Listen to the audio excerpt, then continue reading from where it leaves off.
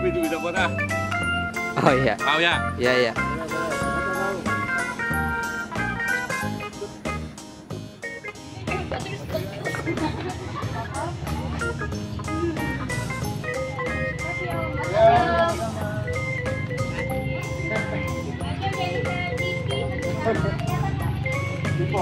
Halo guys, eh, ketemu lagi dengan gue Niko dan Big Boy Zippo the Snow White. Eh, kali ini kita akan featuring sama Hagia sama anjing sayangannya yaitu Macong. Oke guys, pada kali ini kita akan eh, tanya-tanya nih tentang susah atau gampangnya piara anjing beagle karena dia udah berpengalaman banget piara anjing beagle itu udah sekitar berapa tahun ya Hak ya? Udah sekitar tiga tahun berarti. Oh, sekitar tiga tahun guys. Jadi eh, kita mau tanya-tanya eh, apa aja sih tips-tipsnya untuk miara beagle dan apa aja yang boleh eh, dilakukan dan tidak boleh dilakukan supaya beagle kita itu sehat. Oke Hagia, eh, apa kabar nih? Baik. Lama nggak ketemu ya? Iya, lama banget. Eh, berapa abad? Nah, sekitar 10 abatan lah. 10 abad. Jadi kita tuh sudah lama nggak ketemu ya dan akhirnya ketemu juga nih sama si Macong. Udah bikin jadwal susah banget sama dia. Anjing sibuk. Oke. Guys. Iya. Oke, Hak, eh, bagaimana pengalaman eh, Anda memelihara anjing beagle? Nah, kalau beagle tuh ya terutama kalian bisa kalau kalian yang punya rumahnya kecil itu kalian bisa pelihara soalnya ukurannya juga dia nggak begitu besar nah terus juga dia termasuk anjing yang pintar ketika dibandingkan pom kayak gitu Pinternya dalam segi hal apa nih? Matematika, fisika, Kita kimia? apa ya dia- dia bisa salaman juga dia Oh. bisa duduk gitu Oh, oke. kalau anjing pom kan kita rada lama gitu dia ngedengarnya Oh, gitu. Terus susahnya piara beagle apa sih? ya susahnya dia makannya banyak nah ketika kita makan itu dia itu ngeliatin kita tuh loh guys nah kita kan kasihan dia sampai kadang-kadang sampai ngeces nah itu kita nggak boleh Hmm. ngasih dia makanan terus Kenapa Nanti, tuh? ya sempat juga si macong nih dia obesitas nah dan sekarang kita diet Oh, obesitas dulu. Oh, Terus gimana dia nurunin berat badannya? Jogging tiap hari atau gimana nih?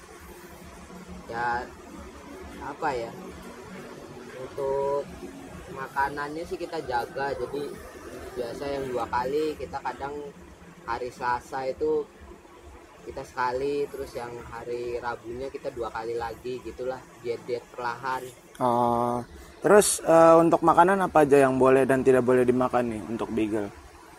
makanan tuh saya kurang tahu ya Pengalaman nasi pengalaman Anda aja selama pelihara beagle karena saya lihat nih beagle-nya sehat banget. Berarti kan perawatannya bener nih. Selama ini perawatannya gimana nih? Untuk perawatan sih yang penting kalian kayaknya rajin mandiin sama makanannya dijaga ya jangan terlalu banyak terus jangan ikan asin deh kayaknya soalnya bulunya kadang dia makan ikan asin yang asin-asin tuh rontok Oh, rontok ya. Oke. Terus untuk eh, suka dukanya miara beagle apa nih? Ada memori-memori yang menyenangkan nggak nih? Atau yang sedih? ya kalau yang menyenangkannya sih banyak ya dia beagle itu termasuk anjing yang aktif. Nah jadi ketika kita bangun pagi dia udah nungguin. Nah terus dia bisa mondar mandir sendiri di Oh. kasurnya kita gitu loh. Terus dia bisa ngeliatin kita berdiri. Ya bisa lompat-lompat sih dia lebih ceria gitu. Oh, tapi termasuk nakal nggak sih anjing beagle? termasuk banyak yang bilang sih termasuk nakal ya. Tapi saya sih nggak ngerasa kalau di Macong ini.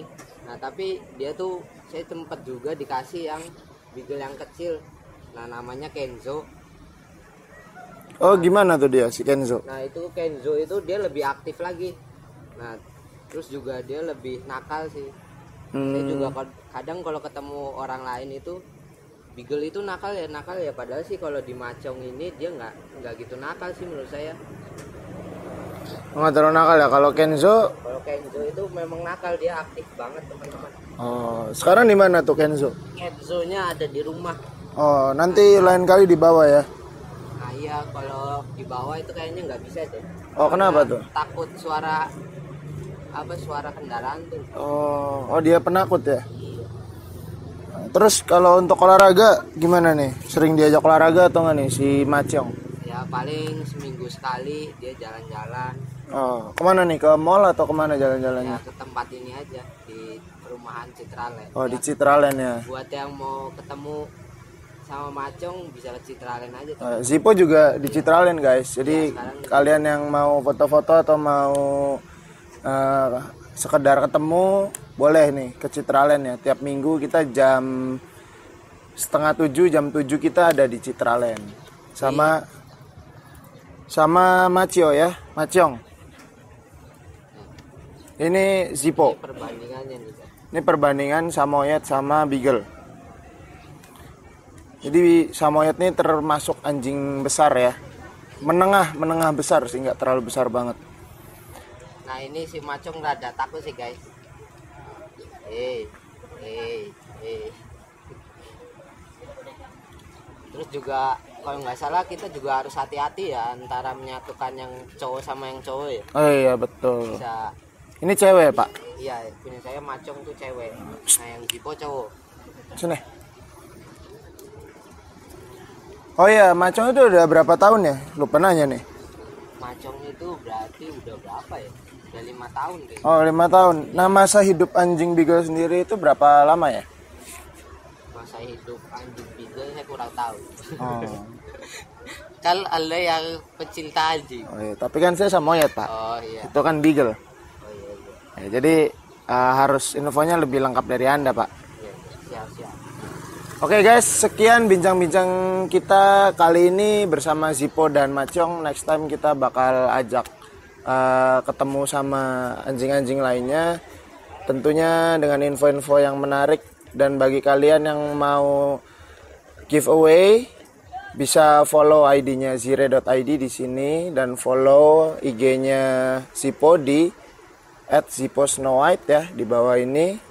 Em, untuk kalian yang mau dapat giveaway-nya itu gampang banget. Setelah kalian follow, kalian subscribe, like, komen dan share ke 5 teman kalian ya. Jangan lupa 5 teman kalian, boleh lebih. Oke guys, sampai di sini dulu. Hagia, thank you banget waktunya udah uh, bisa featuring sama Zippo, udah boleh ketemu juga sama Matyong. Next time kita ketemu lagi bakal ada konten-konten yang lebih seru lagi ya guys ya. Oke, see you. Bye bye.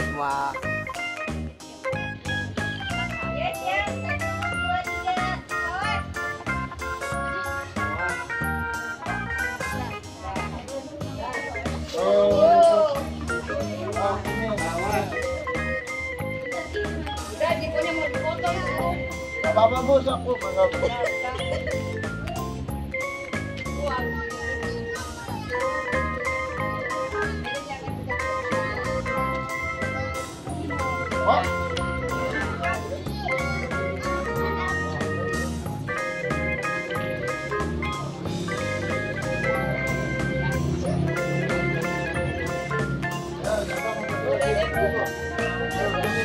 lagi duduk.